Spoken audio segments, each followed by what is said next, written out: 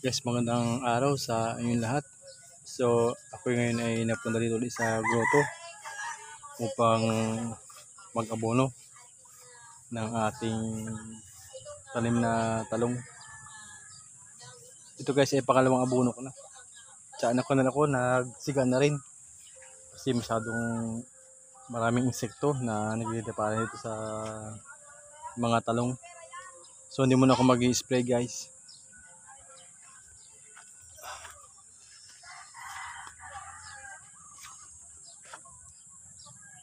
Kape muna tayo.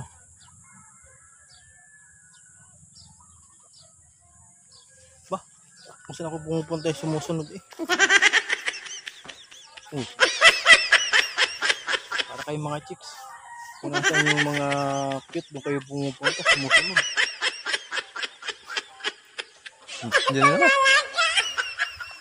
Talaga sumusunod talaga.